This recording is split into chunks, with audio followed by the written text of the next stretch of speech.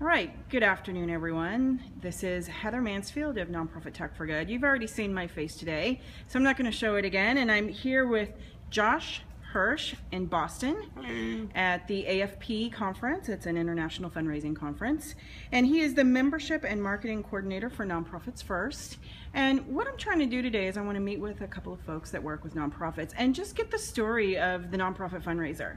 The the personal story, like how they got to start working with nonprofits and what they think about it and what they kind of advice they could give for people that are either already in the career or looking at the career. So Josh, thank you for your time today. I appreciate you uh, asking me to be a part of this. All right, so let's start a little bit with um, when did you first know that you wanted to work with nonprofits? Sure. Uh, I had started out when I was young, uh, doing fundraising through my temple. Um, but at the time, I didn't, you know, really know what it was. I was involved with a uh, program called Camp Jenny, and what Camp Jenny does is it takes underprivileged kids from inner city Atlanta up to a summer camp uh, in the North Mountains of Georgia, and for five days during Memorial Day weekend, it gives them a chance to have three meals and have an experience as a child. So, I remember at 13, 14 years old, getting on the bimah at my temple and, and making an appeal to And how was that appeal done? Was it print? uh, no, it was it was me just standing in front of them and in front of the Ah. congregation. Of, Old school, verbal. Old, old school, two, you know, 250 people with uh,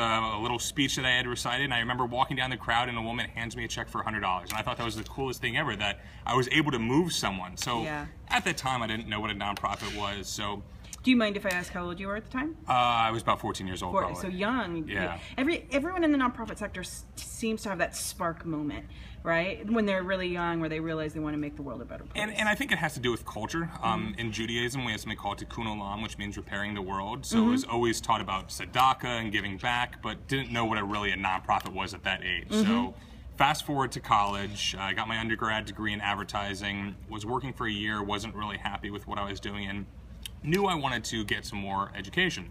So I went through the entire graduate catalog at the University of Florida, go Gators, and uh, found a program called Family, Youth, and Community Sciences. So I met with the graduate coordinator. After about an hour of our conversation, it was a right fit. She has offered me an assistantship position, so I basically went to grad school for free. I wrote my thesis and knew that I wanted to work with kids to give back. So and why kids?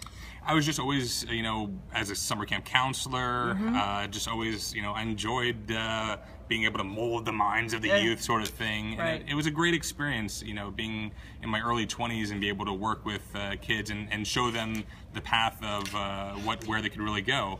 You know, friends that I met when I was started going to camp at 13, 14, 15 were, you know, my friends still to this day. And we now have this community of, of people that are all over the world but still connected because of this one thing, because of Camp Hmm, That's Coleman really nice. Yeah. and and a lot of people there, you know, understood that whole concept of giving back because of it being a Jewish summer camp.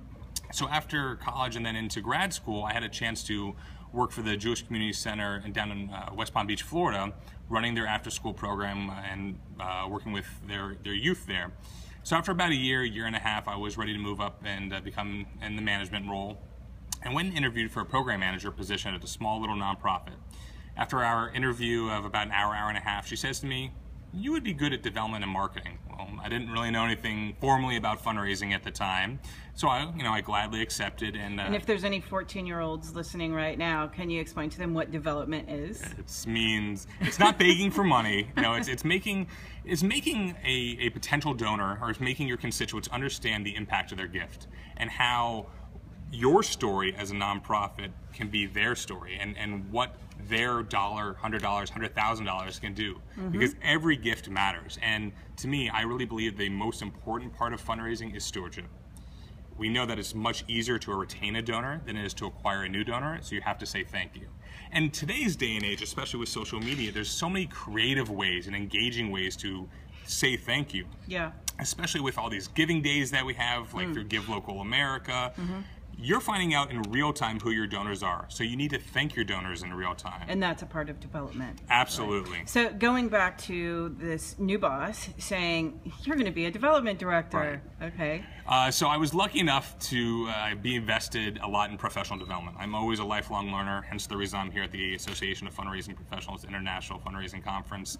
And I worked with the local Children's Services Council in Palm Beach County, and they had a grant training never written a grant before, never done a case statement. So I went to a half day, and I was there for six hours, taking you everything from how to do grant research, how to uh, develop your case statement, how to work on a budget, how to properly tell your story, how to uh, follow up with the the foundations, and always my my go-to when I do my research because I always really had a very high success rate with my grants because of that research because I didn't want to just throw darts at the wall hoping that one would stick. One would stick, yeah. It was after I'd done my research, and even though I knew what the application process was, I'd pick up the phone, call that foundation, and say, "Can you tell me a little more about your grant making process?" Mm. And that was my foot in the door. Yeah. Sometimes I got it. And th- that's a skill. I could never do that. That's why I just ran from all of that sort of work because you actually have to get on the phone and like schmooze people. Yeah, it right? is. Fundraising is a people, per- you know, it's a people business. Yeah. People give to people, and, and that's the truth. You know, we all have great causes, and here there's three to four thousand people representing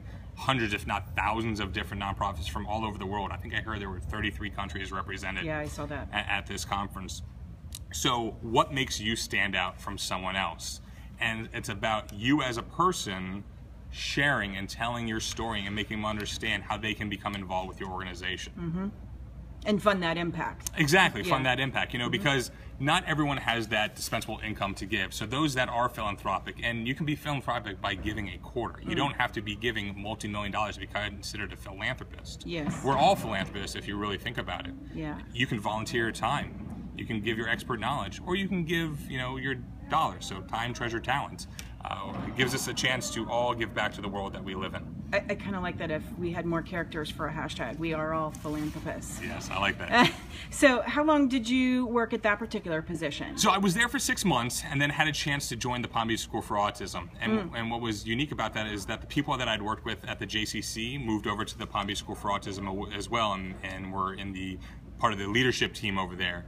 So I had a chance to grow something organically. And at the time, our number one referral sources for enrollment was our Facebook page and our website. So this was early on, you know, right when we went from having your personal page as being, you know, your organization to where pages came about and we're going from Josh is doing this to now dropping the is and really when Facebook was starting because Facebook is now about 12 years old. February Yes. 4th is is their birthday. You know your stuff. I and do know. yesterday was Twitter's 10, 10 year Yes. anniversary. Mhm. So, uh, you know, at the time it was an evolving medium and, and knew that we had, needed to invest our, our energy because there wasn't any Facebook ads or any boosting posts or anything like Oh, that. The they were lucky to have you because that foresight 10 years ago, now you just struggle to even.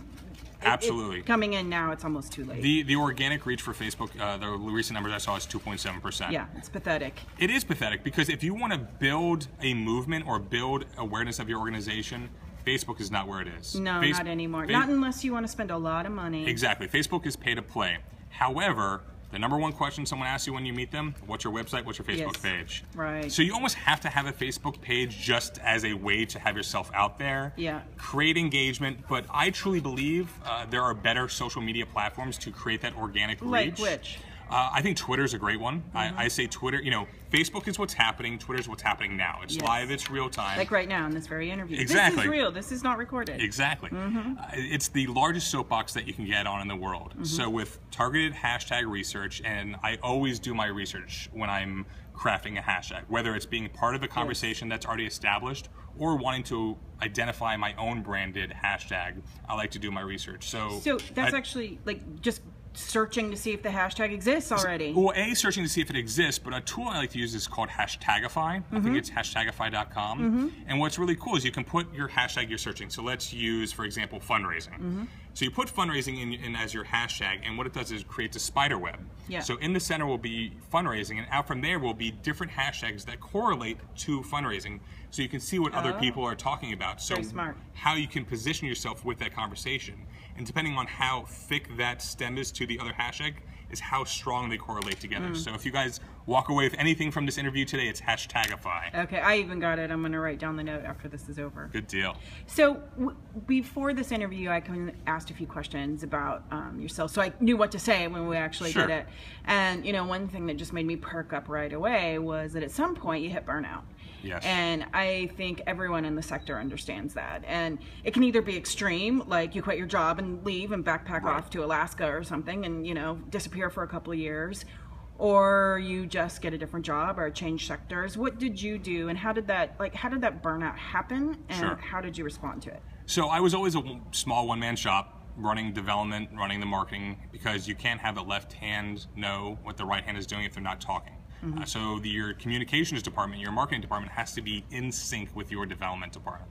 So I had the fortunate, unfortunate, however you want to look at, to run both those departments. Right. Um, and I loved it. I gravitated towards social media, uh, communications specifically for nonprofits, hence the reason I'm one of the AF Peeps, uh, which is the social media vanguard for the Association of Fundraising Professionals. Would you say that again? AF Peeps. How do you hashtag? How do you spell? Hashtag AFP EEPS. So AFP, Association of Fundraising Professionals, Peeps. Um, and we're a ragtag group. There's about 30 of us in North America that we don't see each other except you know once a year here at, the, here at this conference. But because of social media, we're able to stay connected, and it's a resource that I can reach out to anytime I have a question about development, communications, nonprofit professionalism, how to run your organization as a business because nonprofits are a business. And I know that I have experts all over the country that I can reach out to and have an answer almost instantaneously. Mm. So a great example would be uh, a couple years ago, I was looking for a new CRM. I've used Raiser's Edge, I've used Donor Perfect. You know, there's a lot of great ones out there, but I wanted to see what people were using. So I put out there, and we have a special group on Facebook called the AF Peeps. And on there, I said, "What CRM does everyone recommend?" I'm, you know, one of my coworkers recommended this one. What do you all think? and instantaneously I was getting all these com- uh, comments, replies back saying yes, yes, yes, and, and that was Bloomerang. And uh, Bloomerang is a fabulous CRM, uh, great customer service, very simple, easy uh, graphic user interface. They partner with Tom Ahern and Adrian Sargeant, so they have got great research behind it. They uh, what they create is kind of this like hot and cold score. So depending on how engaged your donor is, where they are in Oh, the uh, solicitation process and uh, cultivation process. So it's it's a really great CRM, but you know there's tons of CRMs out there. You just need to find the right one for your organization. Mm-hmm. So with this group of you know AF peeps, I have this family that I can be uh, have these resources available to me at all times.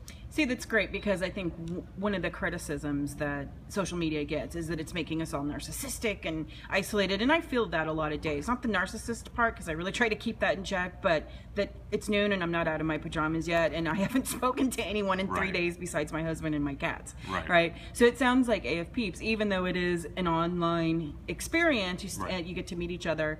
I think it's changed relationships. Absolutely, it's a Right? Mm-hmm. community. It is truly a community. And in some ways, it's not the same as being face to face, but you still stay connected on that human level. They're your friends. Exactly, and, and it's funny because I met a lot of them on social media before I met them in person, at, in you know, in real life at the San Antonio conference three years ago, where I was a Chamberlain Scholar. Oh. And to anyone who is uh, a part of AFP, is an AFP member of their local chapter, and you've not had a chance to attend the international conference, I highly recommend you apply for, to become a Chamberlain Scholar. Okay. You become part of this cohort where you will get your conference fees covered Mm-hmm. uh, by the Association of Fundraising Professionals, and it's a great thing to put on your CV to say you were a Chamberlain Scholar because you are recognized Yeah, uh, that by your- definitely sounds impressive. Yes, absolutely. And the next next year's conference is in San Francisco, Next which year's- is yes. even more of a reason to want to get on that, right? Absolutely. So after Twitter, what would you suggest? You know, it depends on really what your medium is that you're, you know, what story you want to share on the medium. So we know that if you are a very visual uh, nonprofit, so you have a great story to tell. Obviously, Instagram is a great one, uh, especially if you want to use video because you have 15 second video capabilities. And you say, well, what can I really say in 15 seconds? Well, let me give you an example. So, thank you, Heather, for making a donation to nonprofits first. We really appreciate your support. So that was three or four seconds. Yeah. So for me, Perfect. Charity Water does that. They do little mini thank you videos. Charity- right? We all Charity yeah. Water. They always come up. We're Yeah. like sick of it, right? Yeah. But they're great at it. Charity Water, I actually used an example yesterday for, uh, I did a session on virtual reality for Mm-hmm. nonprofits. And if you go on to Charity Water's Facebook page, uh, pin post they have at the top is called a video called The Source. Uh-huh. And it's about this little girl named Selam and the journey she has to go through to collect water twice a day for her family. Right. and it's a 360 degree video. Oh, so great. you're being brought into that immersive experience to see what it's like like not just to mm. read a story or see pictures or watch a video, So smart. but you are in her world. And, And that's virtual reality. Right. It, it's not the virtual reality that we think of from the early 90s where you're running around in a video game or something like this. Virtual reality is really now storytelling oh. 3.0. So you can be that little girl taking the walk up the hill to get the water. Absolutely. Right. And then you're like, oh my gosh, I don't want to be this little girl. So I'm going to donate $25. Exactly. This isn't fair. Let me ask you this. What do you think about Snapchat? You know, I honestly am not an expert in Snapchat. I think Snapchat is, uh, if you look at the demographics of who are using it, it's, you know, your 12 to like late 20s, early 30 year olds. So I know that universities are doing a great job of utilizing it. I believe you're interviewing Emily Reed from uh, University of Oklahoma. She's got some great examples Okay, of Snapchat. Yeah, they've done some wonderful things. Uh, but it really depends on who's the audience for your nonprofit. Yeah. Not even necessarily who are your donors or your constituents, but who are you trying to talk to. Mm. So if you're a Boys and Girls Club, sure, I could see Snapchat maybe as a way to engage with the families and the children there. But unless your nonprofit is geared towards that, Mm. I don't think it's necessarily something that you want to invest your time in. Yeah. Because, you know, most places, and if you're lucky, you're working in the communications department of more than one, but most of us aren't. So you need to budget your time, budget your resources, and how are you going to best maximize what you can do. So Yeah. if I had to recommend the platforms to be on, obviously everyone has a Facebook page. It's just what you have to do. Whether you know you're going to pay to play and boost posts and create ads, um, or you're just going to try to you know create organic reach through your engagement. I think Twitter is another great one because it's just a chance to really reach out to people. So. What I've had great luck in is identifying local uh, media professionals the press release is dead. No one reads a press release anymore. You're not going to get a story placed that way. But all these reporters are on Twitter. Yes, they are. Identify them, reach out to them, and say, hey, I've got this great story. You should think about covering it. And I've had stories placed that way because of Twitter, because of that conversation and that relationship that I've built with them. Yeah. I- I, I love Twitter. I, I really hope um I hope they get it together with Yeah. in terms of talking to someone from the nonprofit sector Mm-hmm. to do in-app donations. Like they've got the cash tags.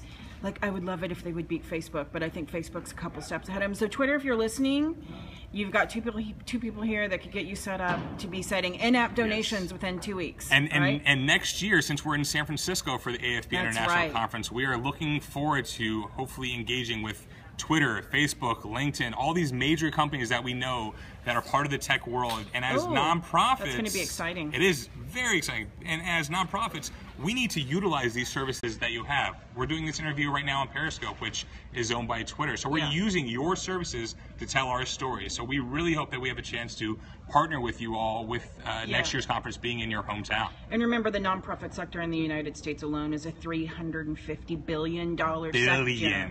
I think they always overlook us and think we're just those nice little do gooders over there, right? But we're actually pretty serious and very good at what we do. And we could teach Twitter and Facebook and Yes. LinkedIn a lot.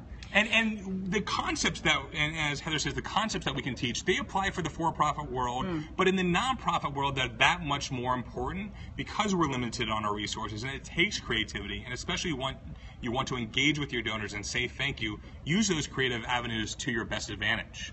So we're going to wind this down a little bit. There's two questions I have again. And again, I just kind of want to go back to the burnout. Like what what is something that you were, were feeling or what's like when I hit burnout, Yeah. I quit my job, packed up my car, left San Francisco, moved back to my hometown in Springfield, Missouri, right, which I lasted there a couple of years. So my burnout was pretty extreme. Yeah. Um what like how did your burnout? So for me, I was actually getting physically ill Yeah. from the stress of having to raise X amount of dollars each year. Yes. You know, I knew that I had a great story to tell, but it's hard to always be out there on the grind and finding new donors and keeping your current donors engaged. Um, but I always had that communications hat in my back pocket. I knew Did that you have any student loan debt or any? Then you're not getting paid a whole lot. and You're trying to pay off debt. Right. You know, thankfully, my, my student loans were paid off, and, and I worked hard to make sure I was done with that uh, by my early 30s. Good. Uh, so here I am now. It's like, okay, how do I take what I love to be able to still be a part of the sector? And luckily enough, uh, the foundation I was working for was good friends with the executive director at the current job where I am now at Nonprofits First. So she kind of said, hey, I know you're looking for a marketing communications person. I've got that person for you. So we Well, all you're lucky these things kind of just arrive. Absolutely. That's good karma. You know, you do good things in the world, good things It's happen. totally true. You know, we think that we're all fighting for the same dollar. And yes, there's limited funds out there and there's more fundraisers than there are dollars. Mm-hmm. But if we share resources, if we collaborate, we're going to be much more effective in our storytelling and being effective nonprofits. Mm-hmm. Great. So, final question. Thinking about all the wisdom you've gained through what the last 10, 15 years in working in the nonprofit sector, there's what, what's your advice? Like, what's your number one piece of advice? The number one piece of advice that I give, whether you're in communications, front house, development, it doesn't matter. Listen and engage with your constituents. It doesn't have to be your donors, it doesn't have to be your program providers. It's who's going to use your services. Hear what they're saying and make sure that you're responding to them. Don't live in a silo, work in a silo, and just think, you know what, this is the way it's always been done, so this is how we're going to do it. No. We need to be proactive, not reactive. What if you don't have the time? You know, like it- even emailing somebody going i got that con-, like I, I always feel bad because i'm heather mance of a nonprofit org there's like a million people i get a lot of stuff Yeah. and i can't listen i can't respond so like somebody said yesterday i've been emailing you on linkedin for two years and i'm like sorry i don't check linkedin Right. so li- like i hear that a lot like you gotta listen you gotta engage right. but even that is like So I use yeah I use a couple of tools. Um, a great one and all free tools because Mm-hmm. I'm you know want to take advantage of as many free uh, services as possible. Uh, I create Google alerts. Mm. So I'll not only create a Google alert for my own organization, and you always want to put everything in quotation, so it's a direct search. And as Oh, as a that's a tip. Yes, as a membership organization, as nonprofits first, I'll create a Google alert for every organization that's a member. Mm-hmm. So anytime that they are mentioned in the local media, I can then find that story and share it online as well. Versus having to sit there and do manual searches. So Google Alerts is great for that. Also, I use Hootsuite as my listening tool, Okay. and depending on what profile I'm managing at that time, whether it's my personal or the different organizations that I'm involved with, I'll create different streams based upon hashtags that I know are part of the conversation in that world, Mm-hmm. so I can constantly see what's going on with that. Another great uh, tool that I like to use are Twitter lists. So, for example, at this conference, I know there's everyone talking about this using that hashtag AFPFC. Mm-hmm. So what I did using IFT, which is mm. if this then that, mm-hmm. I created a recipe, and that anytime that the AFPFC hashtag was mentioned, it triggers to then push to my Twitter list. So I can mm-hmm. now go back after this conference and see everyone who is talking about this and know who I want to engage with afterwards. Because we've Right. been here for three days straight, learning so many incredible things. It's like your mind's going a mile a minute. How am I going to take advantage of all this? So Yeah. now I know who to go out and talk to afterwards and find who I want to engage with. Well, that's great, Josh. You know, one thing I'm, I get asked a lot is uh, what to look for in somebody when they're looking to hire a social media manager. And I'm listening to you and I'm thinking if the person you're interviewing sounds like this, this is what you're looking for. One, somebody with passion. Yes. Two, somebody that understands the tools, enthusiastic about the tools. Mm-hmm. And three, clearly organized, has a lot of mental space to manage all of this. Because I know some people who are listening and they're like, hashtag APF, you know, Right. if what is he Right. talking about? But um, this actually makes a lot of sense to people really enjoy the work. So increasingly, nonprofits are finally starting to come around and understand that digital media, social media, Absolutely. requires a financial investment Yeah. and hiring of staff. So for the EDs that are listening, um, this is when you're doing the interview, the sort of stuff that you want to listen for, which is enthusiasm and knowledge. Well, Josh, thank you so much. Do you Oh, have any thank you. pets? I always ask people to have any Uh, pets. I don't have any. We have a, we have a fish. That's not true. We have a, I, I have a beta fish that's about three years old now, and it was a gift from a friend, and it sits on my you know counter, Oh. and uh, every day I wake up, I'm like, you're still here? You know what's going on? But yeah, That's no. funny. Beyond the beta fish, that's it. Okay, well, then you don't have a lot of responsibilities and you can just tweet your heart out. Exactly. I, I live with this in my hand. You All know? right. All right. Well, thanks, Josh. Thank Appreciate you. it.